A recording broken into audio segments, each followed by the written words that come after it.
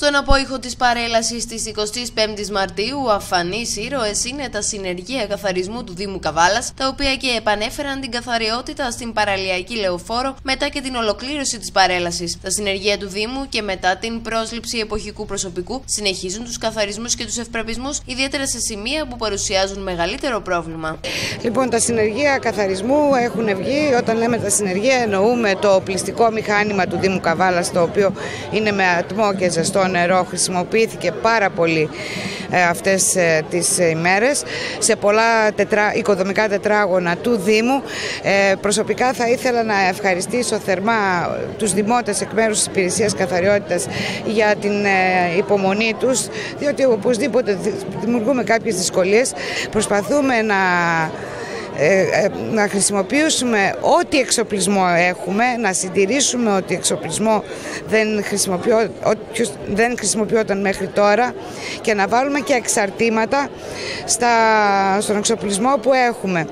Σε λίγο καιρό, ίσως και την άλλη εβδομάδα, κυκλοφορίζουν και κάποια χειροκίνητα σάρωθρα τα οποία θα κάνουν εργασίες ε, στο Δημοτικό Κήπο και στο πάρκο του Φαλήρου.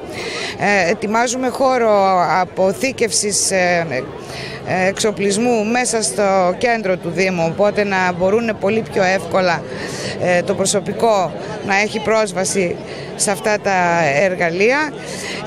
Οι κάδοι έχουν αλλάχτεί όπως ξέρετε σε όλο το κέντρο, έχουν μπει καινούργοι. Καινούργια καλαθάκια τοποθετήσαμε στο δημοτικό κήπο στην πλατεία. Ε, σταματήσαμε να τα τοποθετούμε τώρα λόγω της εορτής. Συνεχίζουμε στους πεζόδρομους και στο, του Αγίου Νικολάου και της Μεγάλου Αλεξάνδρου. Έχουμε και άλλα χρήματα στο προϋπολογισμό για επισκευή ε, κάδων και αγορά καινούργια καλαθάκια. Ε, μόλις πάρουμε άτομα από την κοινοφελή εργασία θα βγάλουμε και τον, το πλητήριο για να καθαρίσουμε τους κάδους.